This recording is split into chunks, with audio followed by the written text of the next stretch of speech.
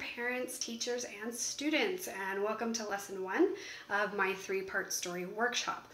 So, as you probably noticed from the title, this workshop focuses on how all stories, no matter what they're about, have three parts to them.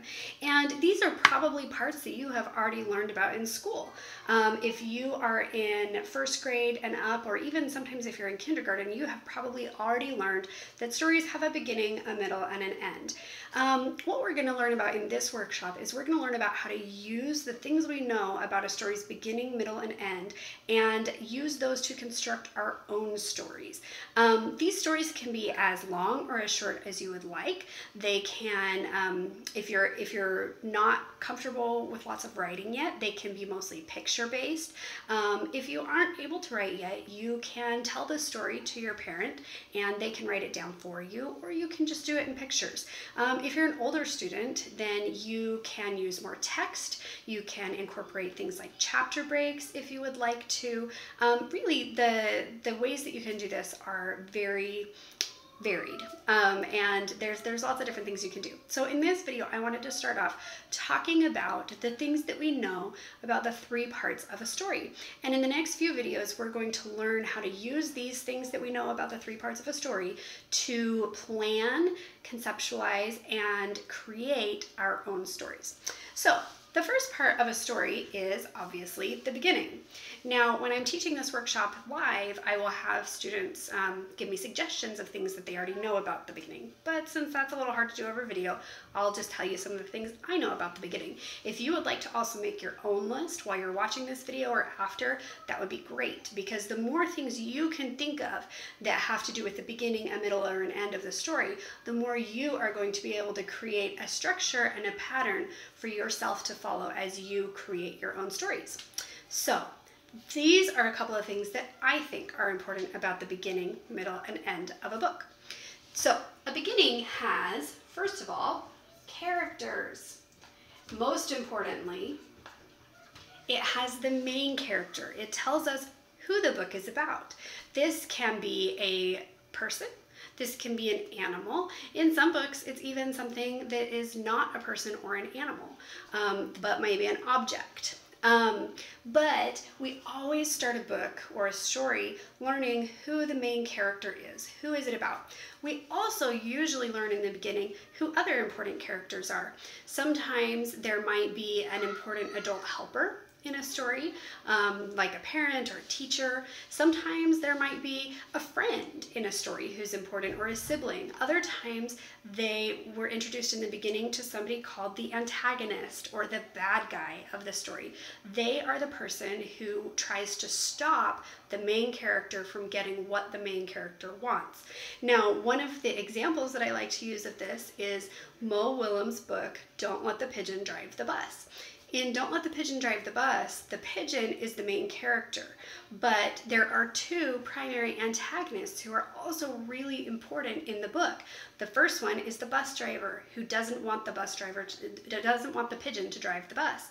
The second is the reader because we in Don't Let the Pigeon Drive the Bus are instructed not to allow the pigeon to drive the bus. And so we are the ones who are continually trying to stop the pigeon from getting what he wants, which is driving the bus. Um, the second thing that we learn, and you probably have guessed this from what we learned about the characters, is what does the main character want? In writing, we call this the main character's goal. Obviously, and Don't Let the Pigeon Drive the Bus, the main character's goal is to drive the bus. In If You Give a Mouse a Cookie, the main character's goal is to get a cookie. Um, there's lots of different books and or lots of different goals and lots of different books and you can see this in picture books all the way up to chapter books. Um, every story starts with a main character and the goal that they are trying to achieve. Uh, the third thing that's really important in a beginning is the setting. We need to know where this story takes place and what it's like. We need to know how it's impacting the main character, how it's not impacting the main character. If your story takes place on an exploding volcano, it's going to be pretty different than if your story takes place at a kitchen table. So in the beginning, you want to introduce these three things, the characters, the goal, and the setting. Now, going to move on to the middle. Either at the end of the beginning or the beginning of the middle, um, you are going to learn something that is really important for the story. In fact, I would say this is almost the most important thing for any story to have, and that is the problem. You are going to learn what is stopping the main character from getting their goal. And whatever is stopping the main character from getting their goal, that's the problem. Really, every story is about a character who has a problem and tries things to deal with it.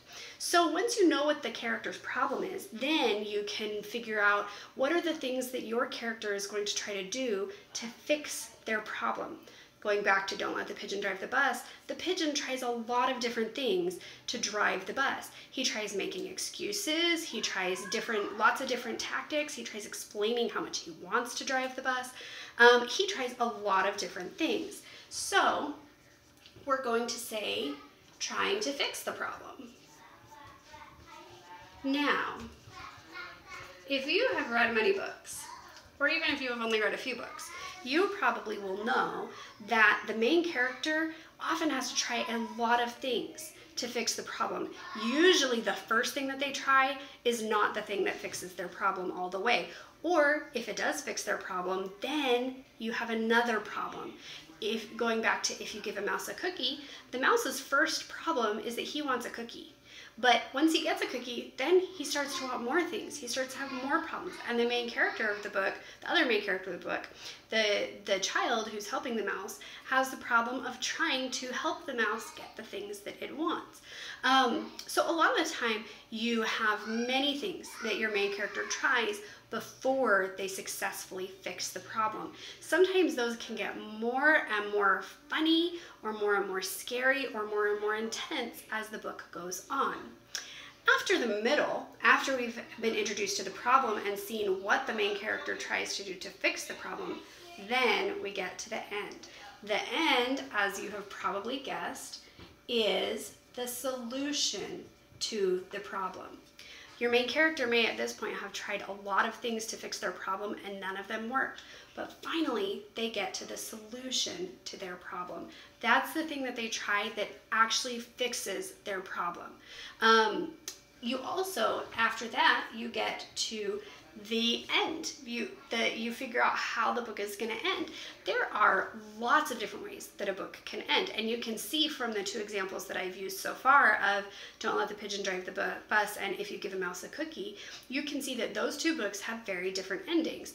In "Don't Let the Pigeon Drive the Bus," the pigeon never gets to drive the bus, so he does not achieve his goal because the antagonist or you, the reader, holds him back from that. At the end of Don't Let the Pigeon Drive the Bus, the pigeon sees a semi truck and thinks, oh, if he can't drive the bus, maybe he's going to try to drive the semi truck. Um, this is, in my opinion, a very funny ending because even though the main character doesn't achieve his goal, it's pretty silly and we enjoy reading that ending and we enjoy imagining what's going to happen when the pigeon tries to go drive the semi truck.